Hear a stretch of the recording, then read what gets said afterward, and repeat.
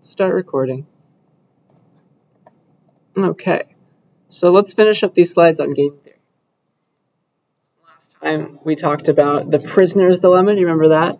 Where, I mean, if they could both cooperate with each other and coordinate, they could both walk out of jail without any, like, without having spent any time there at all, if only they could just both not confess, but they cannot tell what the other one's going to do. And so we have discovered that the Pareto, or sorry, the Nash equilibrium told us that the optimal outcome for those prisoners who couldn't tell what they could do, like they just know like they'll be in this state or the other state, depending on whether they confess or whether they don't confess, because they have no control over their uh, their accomplice. Uh, we notice that it's better to just confess. On average, you'll spend less time in jail, assuming you have no knowledge of what your partner is going to do. Okay, so that is why that is the better option. Now we know. Let's keep on trucking with a few other game theory uh, problems. So the next problem is called cake cutting. Maybe you've played this with a sibling before, but uh, the internet's not going to tell me, sadly, if this was a cooperative game or a non-cooperative game, because you can think of it from both perspective, uh, from either perspective, I think. Uh, cooperative because you're both sharing the cake. Uh, non-cooperative because, I don't know, if your opponent is like a two-year-old, maybe they will accidentally give you the most cake anyway. I'm not sure. Uh, but the cooperation is kind of forced upon you. So maybe it isn't really cooperative. You're kind of backed into a corner in order to become cooperative. Remember that a cooperative game means that forming an alliance is a good thing alliances equals good. Okay, so here's the cake cutting game, right? Maybe you've played this before. Uh, one person gets the knife and they get to cut the cake, right? But then the other person gets to choose which piece they want, and so that's how you make it fair. So what is the optimal strategy for this game? You got your cake. It's definitely best to cut it in half, right? Cut that cake perfectly in half because if you did a good job, you know that probably the person who gets to pick the piece is going to take the biggest one. And if there is no bigger one, then you both get the same amount. You get the most amount if you cut the cake perfectly in half, right? Because if you were to be stingy and forget that you're not the one who gets to pick which piece they want first, if you accidentally cut the cake like this, right? Something like that. The person who gets to pick, right, not you, they're probably going to pick this giant piece, right? They're going to take this piece from you. And you'll be left with the smaller one. So, it behooves you to pick the uh, pick the cake cutting that's going to give you the most, okay? Right in half. Alright, don't be stingy. That's cake cutting. Have we played that before? There's actually some fancy mathematical uh, results on this, like if there's multiple people playing this game together.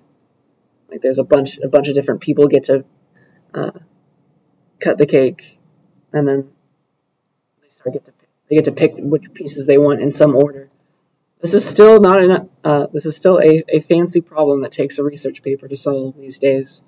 But at least the, the two-player cake cutting game makes a little bit of sense. So uh, let's talk about cake cutting and other things in terms of a new concept called Pareto optimality. Okay, so uh, cake cutting can be talked about through the lens of Pareto opt optimality, so that's why it's on the next slide. Um, we can talk about any sort of generic resource allocation, like giving out money, giving out cake, in terms of this idea. So a resource allocation, it's Pareto optimal, we say, when if you were to change that allocation, make it smaller, make it bigger, always leave somebody worse off. Okay, so it's a very utilitarian idea. Mill would like this. Uh, about what are some Pareto optimal allocations for cake cutting. Which kinds of cuttings of the cake would leave somebody worse off if you changed how you cut it?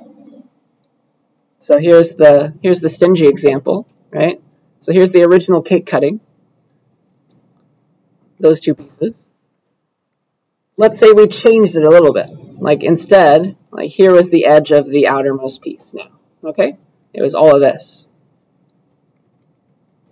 So we changed it a little bit. Is somebody worse off? Yeah.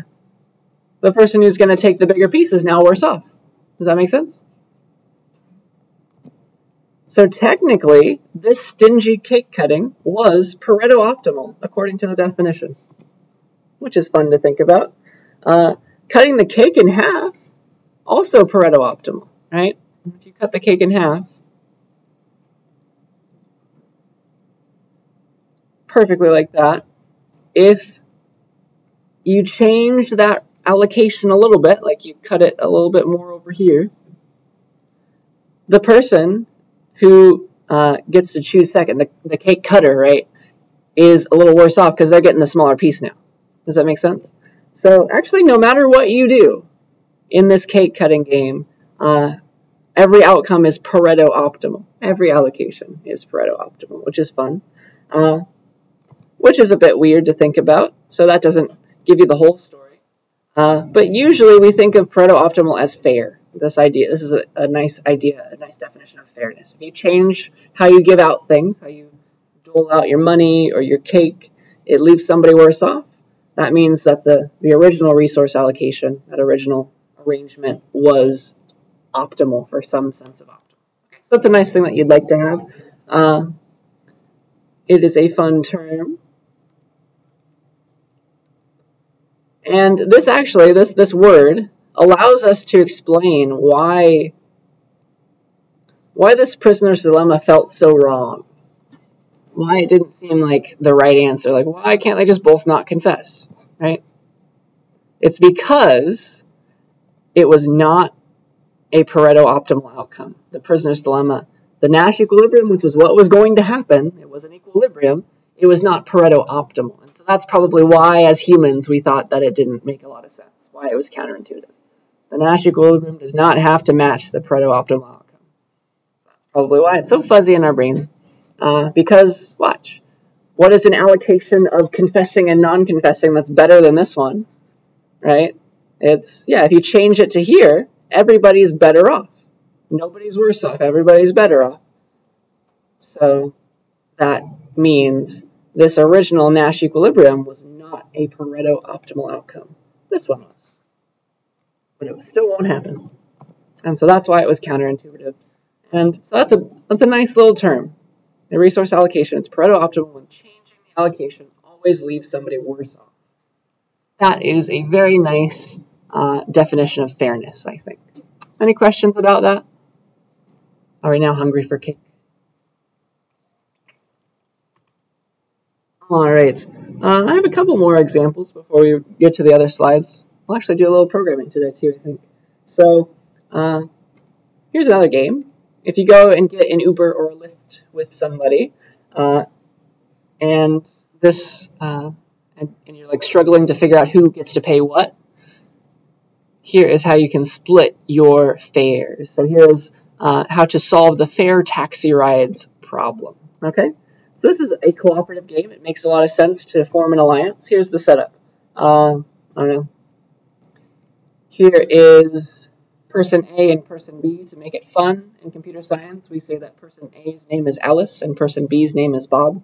And they both want to go home. They had a fun night out and they order a little taxi. Here's the taxi. I have a very bad drawing of the taxi. Fix that. Boop. Taxi comes, picks them up. Boop. Good enough. So there it is. And uh, it just so happens that Alice lives on the way to Bob's house. Boop, boop, boop. So here's a bunch of streets. Here is Alice's house on the way, and here is Bob's house uh, at the very end of the journey. All right. So that's the setup. Uh, so of course they're going to share a taxi. It's cheaper that way, in theory. Uh, so here's the idea: because they live on the same uh, route home. If Alice went and got a taxi by herself, she would pay $5 because she's closer, right? If Bob went and got a taxi, taxi by himself, he'd pay $12 because his house is farther away, right? So uh, it makes no sense for them to get in separate taxis, right? because that would be like $17 total among both of them. If they both get in the same taxi, the fare is going to be the same price as going to Bob's house because Alice can just hop out on the way. It'll still be $12 for both of them together, right? So definitely better to take the taxi together. Um, but I think it's pretty obvious that like paying $6, like asking Alice to pay $6 and asking Bob to pay $6 is not very fair for Alice. 6 and 6 is not fair. especially because Alice could have just taken a cab herself and paid five dollars. Okay, so six dollars not is not the answer. Uh, so let's figure out what the answer is.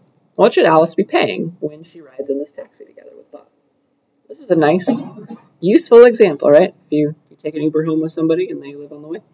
So the question is, how much should Alice pay to fairly split the bill with Bob? Right? And the fancy technical game theoretic term we're looking at, we're looking for, is called the Shapley value. All right, that's going to give us the answer. All right, so we're going to determine the Shapley value for this uh, for this game, which is a taxi ride, a shared taxi ride. So the idea is the way to determine this fancy Shapley value and compute what Alice should pay and how much Bob should pay is you consider, you think about all the different ways of paying. And ways, uh, the technical that is permutations, right? So consider all the permutations of who pays the remaining bill in what order, based on their original prices. Uh, and then you take the average of those. So there's going to be another average calculation going on, just like when we were determining the Nash equilibrium. All right, so let me show you the uh, idea So what are the two permutations that could take place here, like of who's who pays first? So either Alice pays first, then Bob, Bob pays second, right? Alice, then Bob. Or Bob pays first, and Alice pays second, right? It's a very simple idea, but this is going to give us the answer. Uh, so if it's this order, everybody pays how much would how much their normal fare would be, or whatever's left, if it's less. So if Alice gets to pay first, she'll pay $5, right? Because that's her, her cab fare. And then if Bob pays second, right? Remember the total is 12 between the both of them. Bob would pay $7. That's what's left over. Okay? Not very fair for Alice in this arrangement, but that's okay. We're going to average them. Second, if Bob pays first, if he pays his fare first, then he'd pay $12 total, right? And then if Alice had to go second and pay the remaining fare, there's nothing left to pay. So Alice would pay $0 in this permutation of who pays the remaining bill in what order.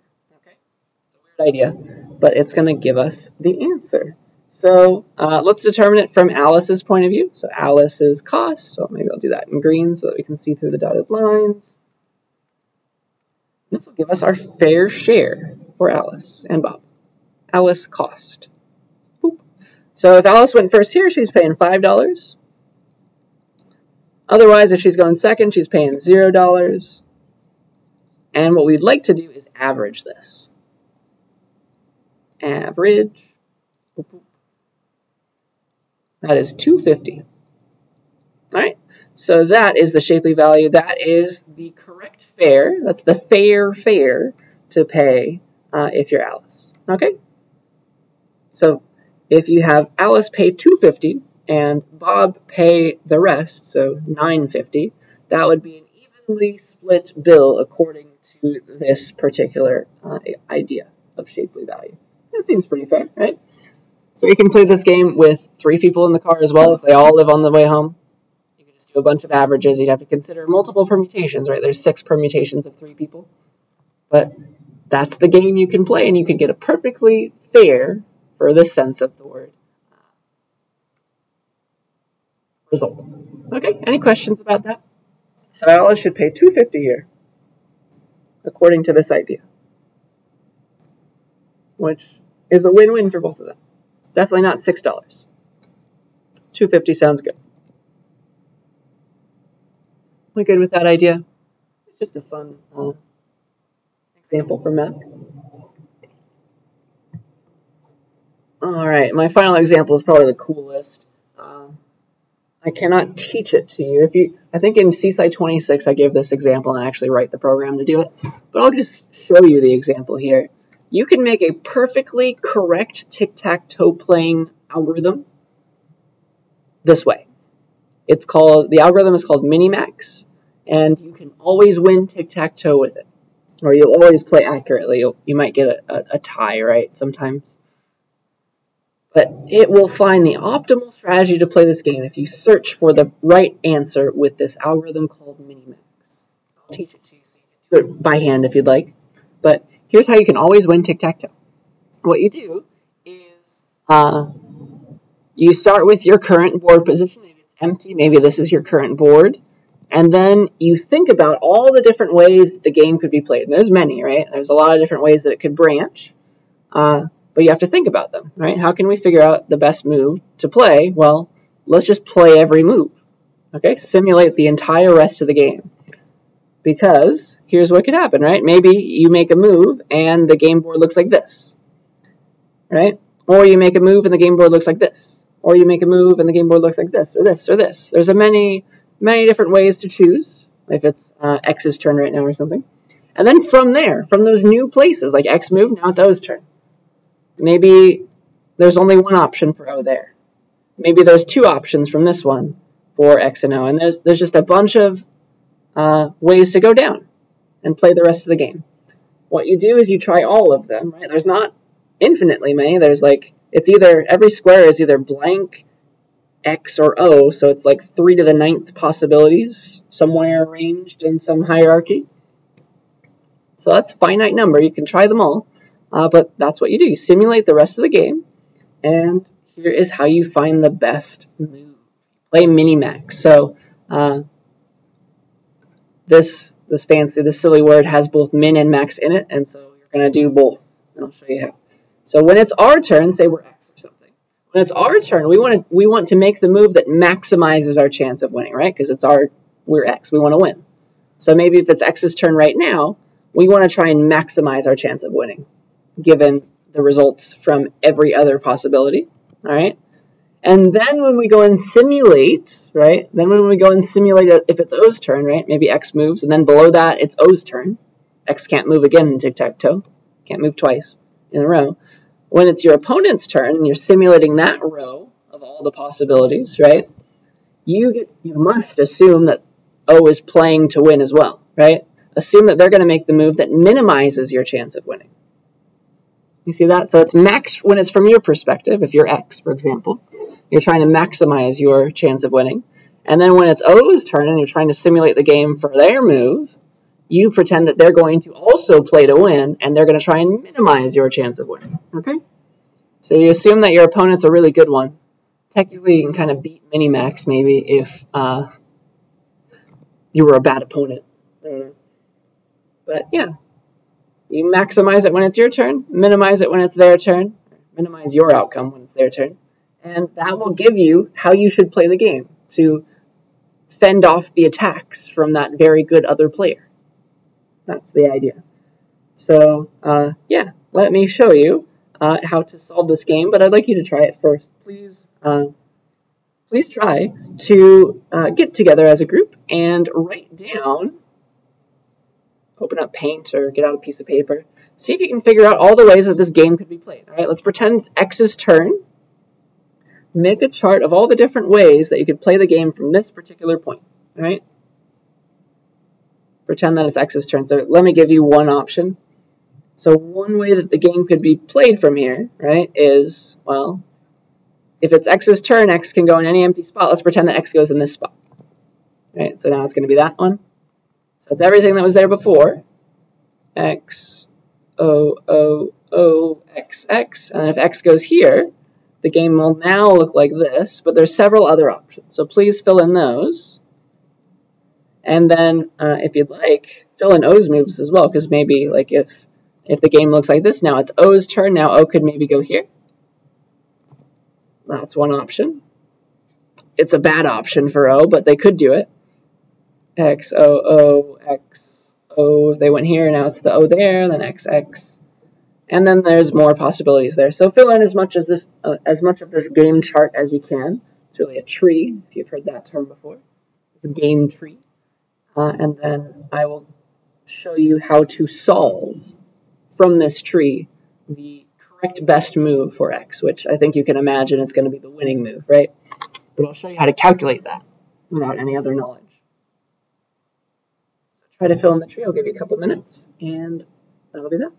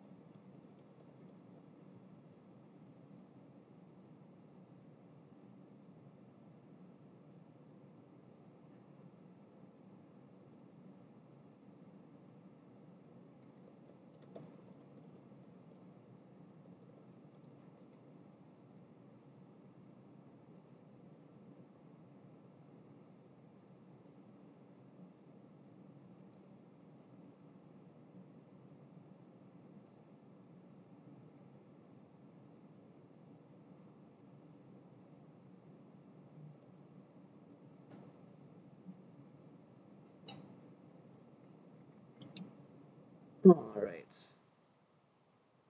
Let me show you how I might do it. Any questions as we were figuring this out?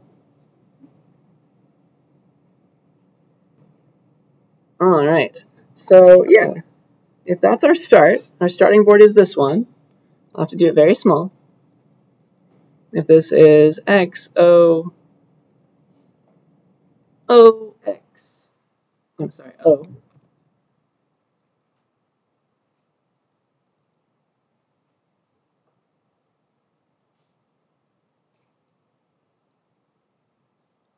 I think there's three options, right? X could go here, here, or here. And I should have just drawn X's instead of O's. That's a little confusing. But yeah, you have three ways to play the game from there. Let's try and draw the rest.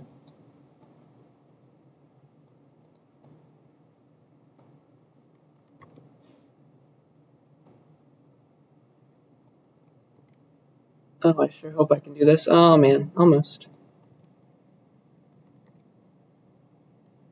If I use my arrow keys, there we go, that'll do it. One more time. Honestly, it might have been faster to just draw it, but I don't care. Whee! Good enough. So X could have gone here, here, or here, right? That's the idea.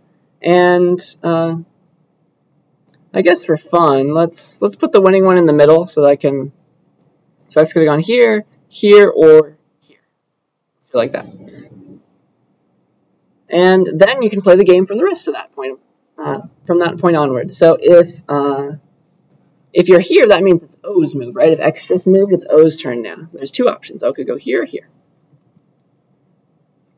So two options there. I guess uh, I should draw them. That's probably faster to just write them out.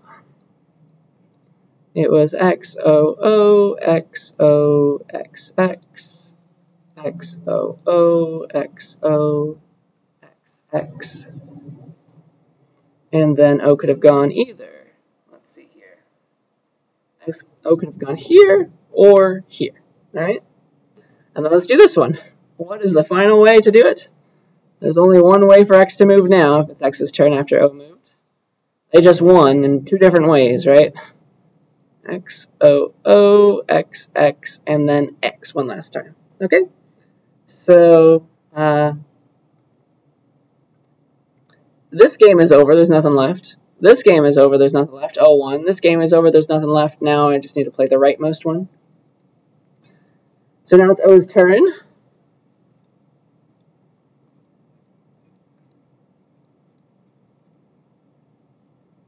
And then one more. So X, O, O, O, X, X, X, X, O, O, O, X, X, X. And so O could have gone either here or here. And then finally, if O went here, there's one last move to play with X, and then X wins. X, O, O, O, O, X, X, X, X, right? And then we've made it to ending states, where either X wins or O wins, right? So that is all the different ways that the game could be played. Are there any questions about that? Is that what we came up with?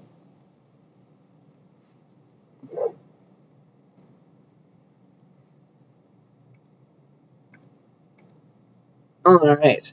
So now the, the question is, how do you do minimax? How do you determine like what's the best way to play the game from here onwards? What you do is you score.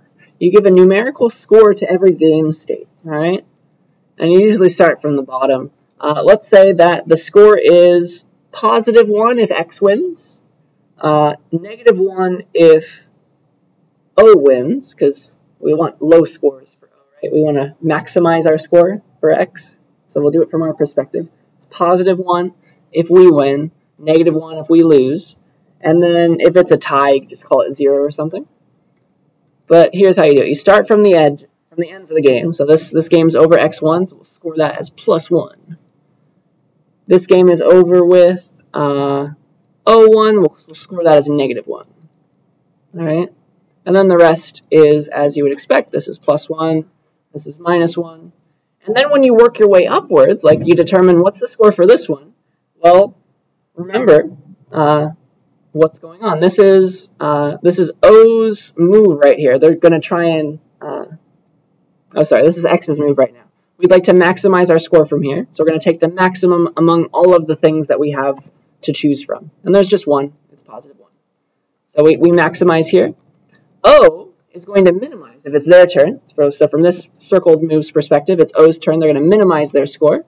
And so they're going to pick, uh, they're going to minimize our score, sorry. So they're going to pick this route. They're going to win the game if they choose this one, right? They're never going to let it go here.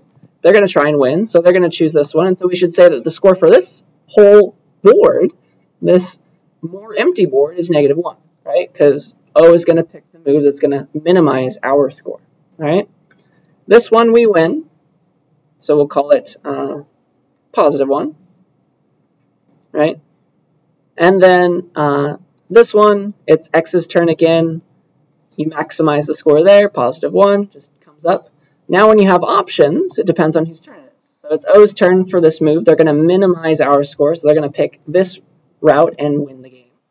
So they're definitely going to pick the minus 1 route. And then here, this original game board, we're ready to score it. And figure out what we should do. We're going to maximize our score, right? So we maximize our score among all of these possibilities. It's got to be this one, right? So it's going to be positive 1. And why? This also gives you the move to play. It's saying, all right, pick the one that's going to maximize your score when it's your turn. It's exactly this one. All right, and that's going to be the move that we play. And we immediately win the game. That is the generic algorithm to always determine the best current move, even if you're not one step away from winning. Isn't that cool? Any questions about that?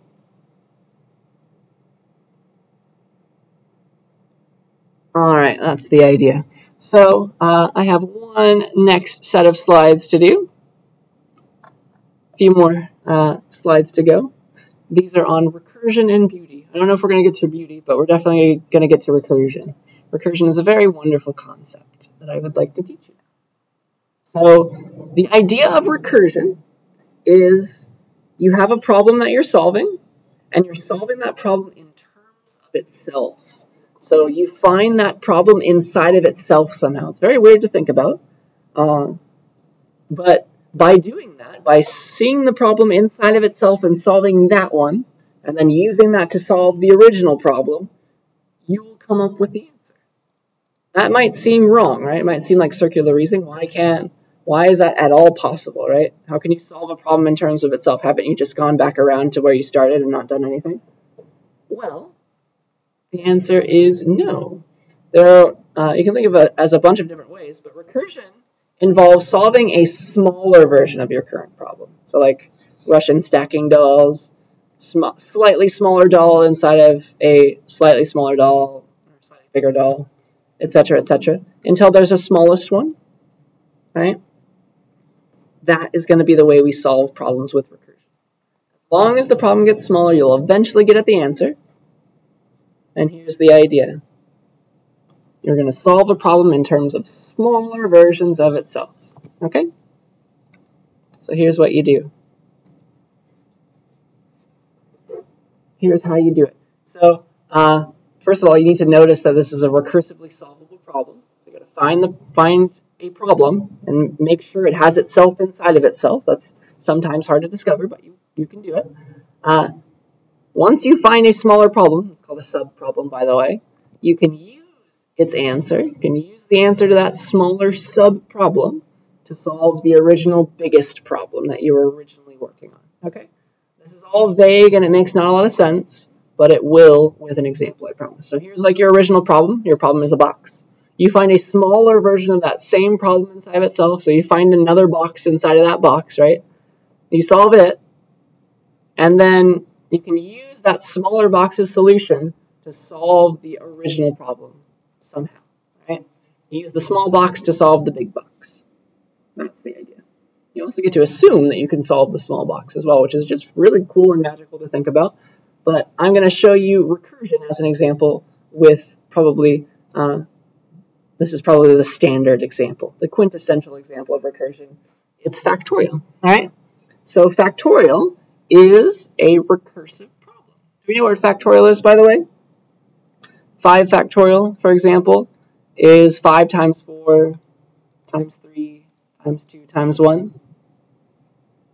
So I claim that finding the factorial of a number is a recursive problem, so that involves uh, solving it inside of itself. Can you find, as a group, I'll give you a minute to think about it, can you find a smaller factorial inside of 5 factorial?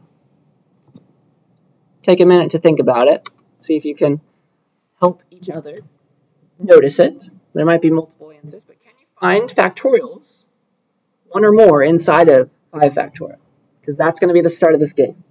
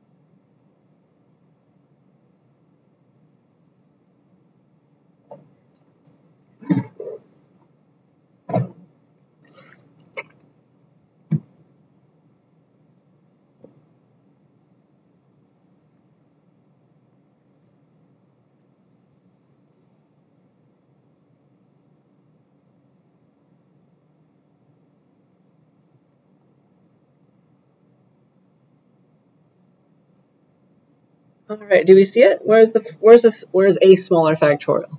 Can anybody tell me? Which one is it, too? Five times, yeah. Does everybody see 4 factorial inside of 5 factorial? Because 5 factorial is 5 times 4 times 3 times 2 times 1. 4 factorial is 4 times 3 times 2 times 1. There it is. So there's 4 factorial. Are there any other factorials in here? There's plenty, right? There's 3 factorial. 3 factorial. Here's 2 factorial. 2 factorial. This is also 1 factorial. Why not? 1 factorial. That's there. They're all there. But usually when you're solving a recursive problem, you want to find the next smaller one. So 4 factorial is the right one to see. And from there, you can build an answer to any factorial problem. All right? We've just noticed that this is a recursive problem. We can find it inside of itself. And that we had to try some examples, right? Can you find a smaller factorial inside of 5 factorial? Yes, yes we can. 5 factorial, we determined. 5 times 4 times 3 times 2 times 1. There's 4 factorial inside of it. How do we use that to find the final answer, right? If you had 4 factorial, how would you build 5 factorial? Well, 5 factorial is 5 times 4 factorial. Do we see that?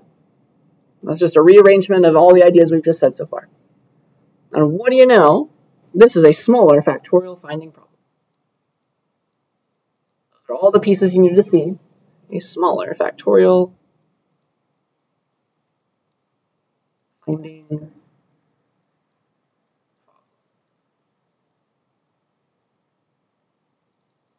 and that will allow us to always make it work. And now the question is, we, not, we have to generalize it.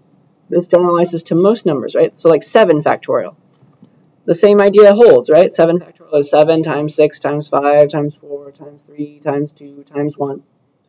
There is 6 factorial hiding inside of 7 factorial. So 7 factorial is 7 times 6 factorial. 5 factorial is 5 times 4 factorial. We can generalize that. How do you calculate n factorial then? Or just an arbitrary number n? n factorial, following this pattern, right? n factorial is equal to, well, pretend 5 is n, it's equal to n, right? n times, and how do you get 4 from 5 if 5 is n? n times n minus 1 factorial. That's the general rule. You see that? That's going to be the first part. That's how we do it. All right, so we can define the factorial problem in terms of smaller versions of itself. And this, where you have a smaller factorial inside of the bigger factorial, this is called the recursive case of the problem. You actually need one more way to, you need one more case to solve the, the thing entirely, and that's called the base case. You need a way to stop, okay? Because this, this seems like an infinite equality that would go on forever uh, we need a way to stop our computation and be done with it. So in addition to the recursive case, we need a stopping condition called the base case. And to figure out what the base case should be, you always ask the question, like, when do I immediately know the answer for factorial? I don't have to compute any smaller factorials. When do I know the answer right now? And we can try and discover that. So 5 factorial, if we keep solving our recursive case problem, let's keep using that answer until it stops making sense.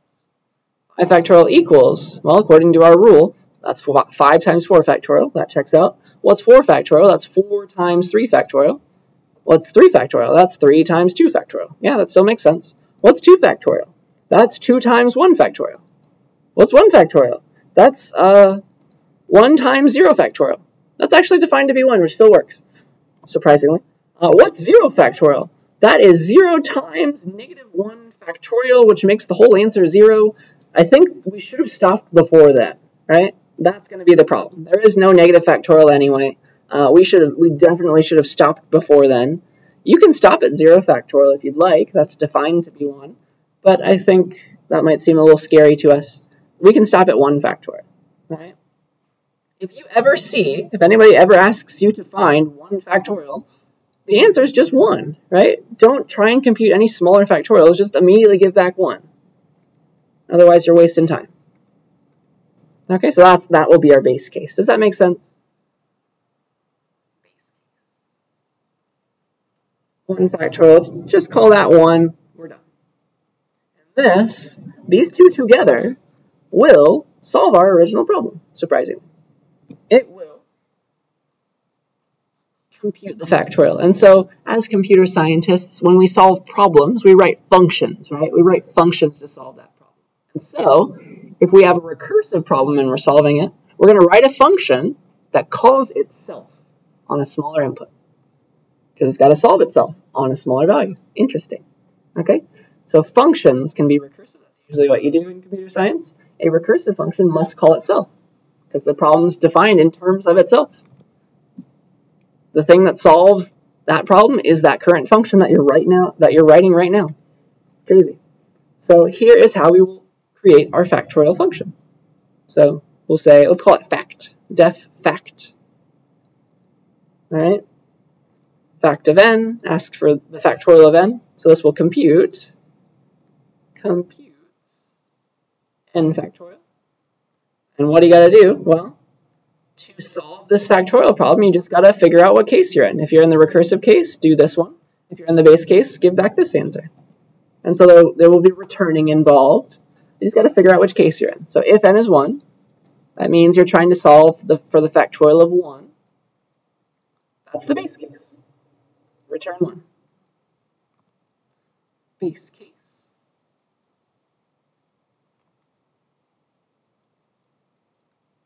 Return 1. Right? If anybody asks you, they call fact of 1, immediately the answer is 1. 1 factorial is just 1. Otherwise, else, this is the recursive case,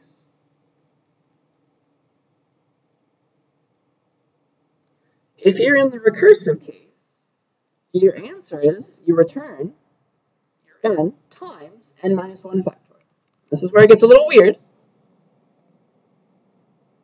We need to go off and compute n minus 1 factorial. Let's call that x. x equals fact of n minus 1. Here we are in the definition of fact calling ourselves on smaller input. That should make you feel a little bit uneasy. But it will work out because it's a smaller input. So we call ourselves, and then the answer, right, it was always Rn times n minus 1 factorial. Well, calling ourselves gives us n minus 1 factorial. That's what we're supposed to compute. So return, the answer, is Rn times that x. n times n minus 1 factorial. Isn't that beautiful? So here's your call to yourself. It's called a recursive call, by the way. That's the fancy term for it. But inside of, for example, if you call a fact of 5 and ask for the answer, fact of 5, so n will be set to 5, it's going to call fact of 4 for you in that recursive case and build up the answer. Crazy. Fact of 5 calls fact of 4. And likewise, fact of 4 will call fact of 3, blah, blah, blah, etc., etc. And it's going to work out. So let me code this up for you in IDLE. This will be a very fun example because like it looks like this shouldn't do anything at all. Factorial would imagine should loop or something. The recursion will do the looping for us. This is lecture 27.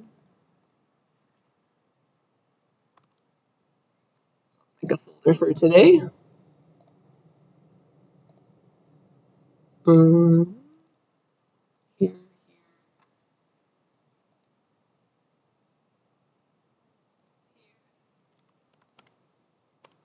Side of it, and let's call it fact. Fact.py. And here's what we got to do. Everything we wrote. So, let's just copy it into here. So here's a function that computes n factorial. Def fact of n. Well, figure out what case you're in. Maybe we're in the base case. Return 1 if so else you're in the recursive case.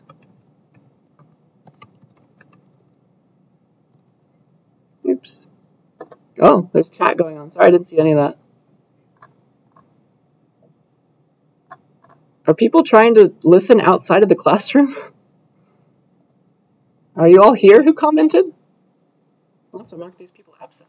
That's not that's not what you're allowed to do.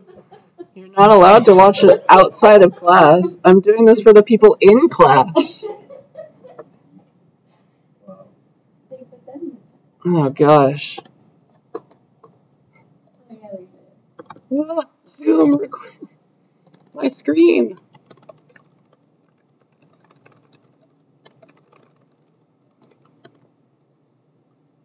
In the class. In the classroom. Alright, uh, x equals fact of n minus 1 return n times x. So they say print fact of 5 and it will end up doing the right thing. Watch. Run, run module.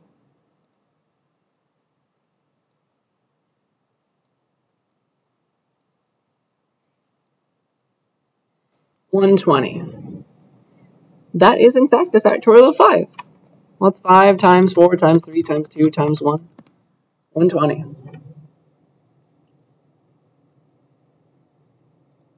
Isn't that beautiful? So literally it's doing the computation. Print. Fact of 5.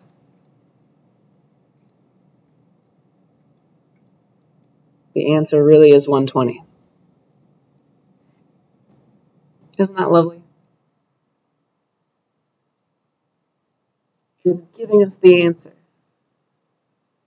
And it might be a little weird why. like, all right, let's try fact of 3. That 3 times 2 times 1, that's 6.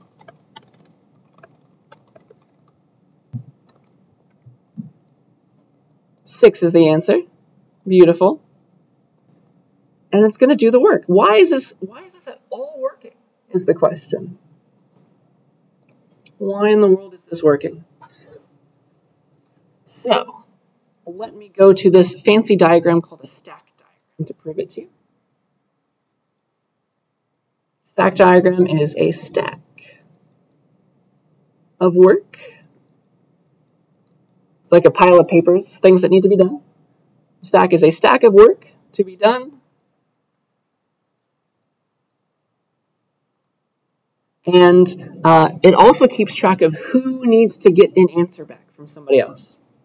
Slash who wants whose answer. Okay, so let me show you what's going to happen when we call fact of 5. Like we say, down here in the outermost code, we say print fact of 5.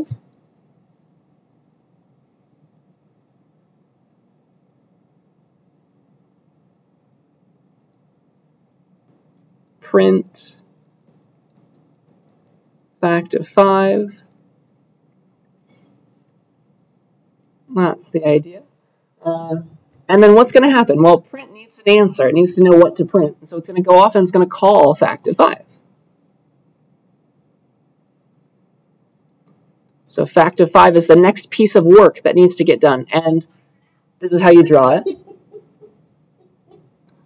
Fact of 5 is on top, and the person who wants fact of 5, 5's answer is right below it on this fancy thing called the stack. Right? Fact of 5 is us calling the fact function, and it has a value for n. n is set to 5. It's going to create an x value, all that stuff. Uh, but this fact of 5 function, it's going to go here. It's not 1. It's going to go to the else case, and it's going to try and give a value to x, right? x is equal to fact of n minus 1, because if only it had that answer, it could go and give back its final answer. It doesn't have it yet, though, so it needs to make room for x, and then go off and ask for fact of 4. All right, so it's going to go off and ask for fact of 4. All right, that's the idea.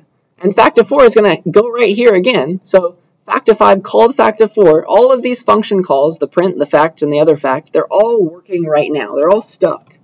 They all need an answer. They're not done yet. They're all executing at the same time. Fact of 4 is the one at the foreground. He's trying to do the work right now. But fact of 4 is in the recursive case. Stuck here again because it needs to know the answer to put in its own x variable of fact of its n minus 1. Its n is currently 4, so it's going to go and ask for fact of 3.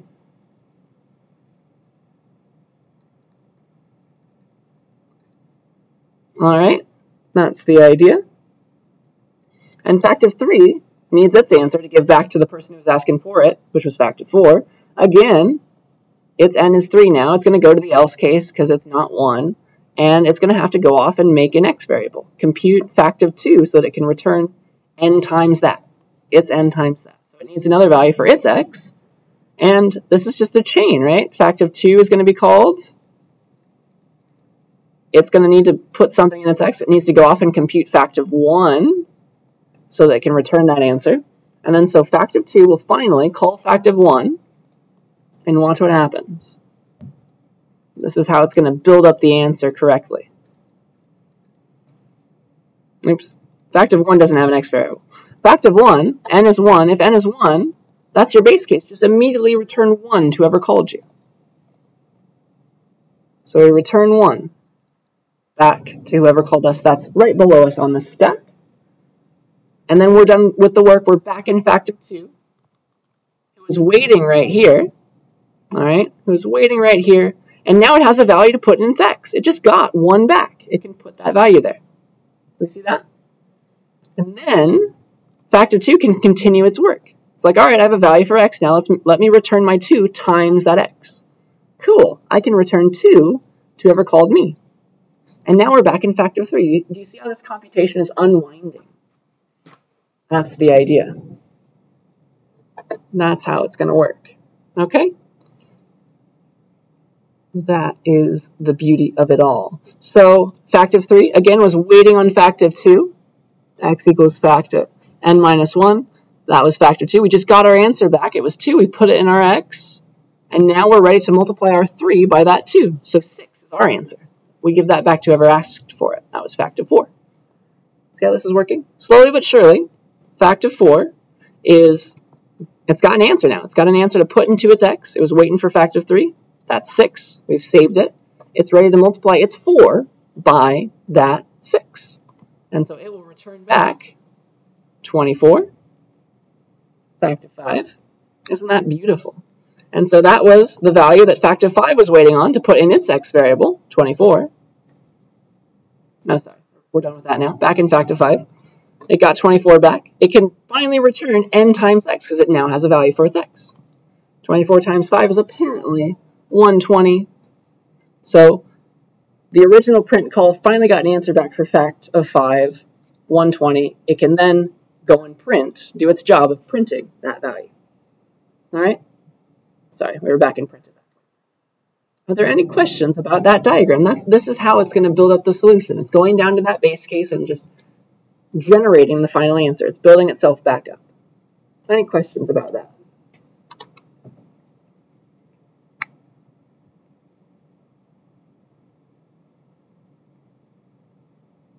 All right. Uh, yeah, that's all that I wanted to show us today. I hope that was cool. Like, this is a problem inside of itself. It's essentially looping without any loops. What? That's craziness. And it works. It's so cool. So, let me show you uh, information about your final, and then that will be all for the day, if we're good. So, reminder, you have a test coming up soon. We're in week 15. Uh, week 17 is the last week of classes, and then week 18 is the week of the final. So let me show you the final info page. Not ready with the final yet. Uh, we'll have to change the dates around probably. But here is information about the final. All right. So the final, we have a dedicated time, right, because we, we're an in-person class. The final is going to be from 4 p.m. to 5.30 p.m. in this classroom on the Wednesday of finals week. That's when it's been uh, scheduled for us. Please, please double check me just in case I, I messed that up, but I'm pretty sure I read it right. Wednesday, December 7th, 4 to 5.50, so starting at class time. But it's an hour and 50 minutes total. That's how long finals get to be, apparently. And so that's going to be when. And then the what is, uh, again, I'll give you an essay, about 250 words or so to write. And then I will also give you Python questions this time. So it was very hard for me to ask you Scratch questions. Now I, am going to give you Python questions. Okay? So remember to uh, prepare for that. So uh, the questions will be from like the programming assignments, the in-class examples, all those things are what I want you to study. Uh, for example, uh, I'll ask you to draw something on the turtle module, so make sure that uh, before you start the test, before you click start, you've got like IDLE somewhere ready to go. Get that installed if it's not there already, because uh, you're going to be doing Python programming. Or just go to the website where you can do all that. Uh, whatever you, whatever works best for you. Get a nice setup so that you're ready to do it. And then yeah, the majority of the of the points will go towards the essay, uh, just like the midterm, and just like the midterm as well. The test is open book and open notes, so you can you can look at all the slides that I've been giving you. Um, of course, you can't talk to each other. That's the only thing you can't do, right? So yeah, are there any questions about that? That will be our final exam, the 7th, 4 to 5.50 in this room. Any questions about that? Anything like that? All right. So, uh, yeah, I think that's everything that I wanted to show you. So thank you uh, for listening, and that will be it for the day. The rest of the time is yours to work. We'll continue our recursion slides uh, probably next week.